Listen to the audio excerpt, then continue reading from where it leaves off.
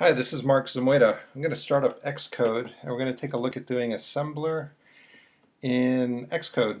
So let's start by creating a new project.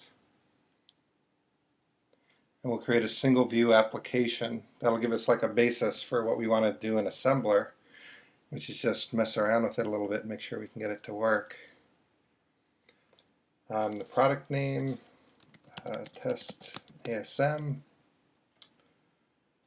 Uh, the prefix, we'll just put test ASM. No need for storyboards. Uh, arc doesn't matter.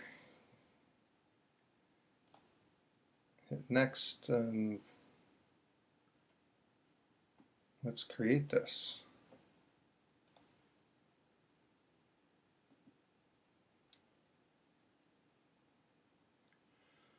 Alright, so let's run it and make sure we have an application here. Use this as the basis to do assembly language programming with. The emulator comes up and it looks fine. It's just a blank uh, view right here that shows up. Okay. So let's take a look at the view controller and we know we're going to execute some code here after view did load. So let's have this be a spot to add some assembly language. Uh, there are lots of different ways to add it in. We can add it in right here, you know, assembly language commands with uh, macros right here. Um, but what I'd rather do is I'd like to start off looking at how it generates its code itself. Let's just create a dummy C function called foo and let's give it a, we don't need to create a header file or anything. Let's just create void foo up here as the function prototype. So now we have a valid C function. And let's add that C function in a new file here. So I'll, how do you do this? Right click, new file. We'll create a C file and we'll call it um, uh, test C file. Okay, and there it is. And all we're going to put in here is our foo function, which just make it return so it doesn't do much of anything. Now, uh, let's set a breakpoint back where we were before and make sure that this function gets called.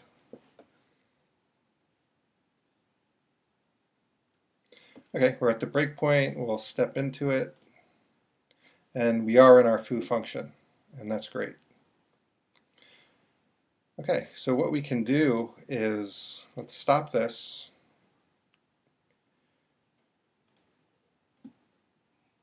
go to our foo function and we can go to the product menu, generate output, and look at the assembly file that was created for this C function.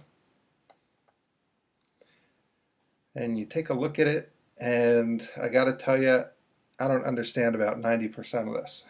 but um, the part that's important to us is the part that actually does something in here. Let's see. Here we have our underscore foo symbol, which is important. And then we have some assembly command, and the return is right here. Okay, so let me, I don't expect anyone to understand this yet. I mean, this is kind of a beginning tutorial in assembly language. But I'm just going to show you how you can cut this out and I'm not sure what to take here. I'll copy that out of there. Okay, so now we know what assembly language looks like for a very simple C function. So now let's make an assembler file. We'll go to a project and do new file. And let's go to Other, and we have an assembly file. An assembly file ends in .s. So we'll create one of those, and we'll just call it first assembly file. And there it is. All it does is gives us comments. We'll get rid of those. And we'll paste our assembly code that we had before. Um,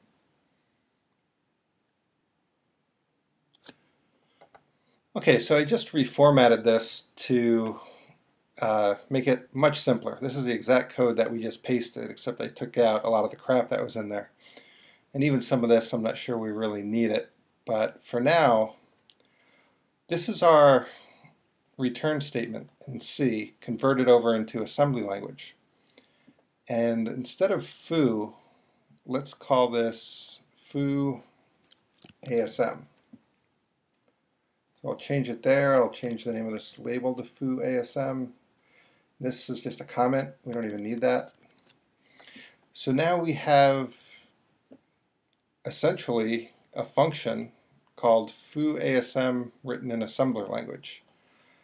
Uh, we won't go into detail what this is right now, but ret means return, so that'll return from the function. Let's see if we can get this to work. We'll go into our uh, view did load method again, and we'll make a call to foo ASM. And once again, we don't need to create a .h file. Um, for now, I'll just add the function prototype up above it. So foo ASM should be valid right now. Let me set the breakpoint on foo and run it. Build succeeded, and we have our breakpoint. We can still step into this. That's fine. Now we're at foo ASM, and we cannot step into it unless we hit one of these keys here, the control key. So you control, when you hit control, our step into turns into step into instruction, which would be the assembly language instruction. So I'll hold control, and you can see the little dot appears under it, and I'll click on that. And now we're in our assembly language. Um, wow, that doesn't look like what we typed, but those commands are the same. Uh, it has the return at the end. Um, I'm just wondering if there's a way to look at our source code. Maybe if we generate, now we can't generate output. But this is our assembly code right here. Uh, we have our foo ASM function and we have the commands that we have in our assembly file and we can step through these now. and return. Takes us back and we'll just continue and we have our application running. So that's all I wanted to show in this video. I just wanted to show um, in order to work with assembly language there's a few key things you need to be aware of. One is that you can have uh, Xcode itself create assembly language for you by going to the file and choosing product, generate output, assembly file.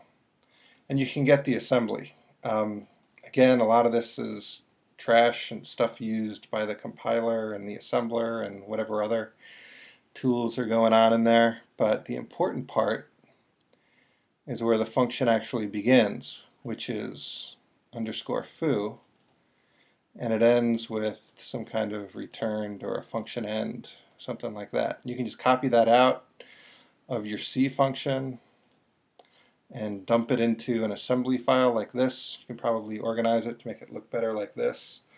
And you step through it by hitting the control key when you go to hit your step into. So the next video will probably go into more, you know, a very high level, what is this stuff?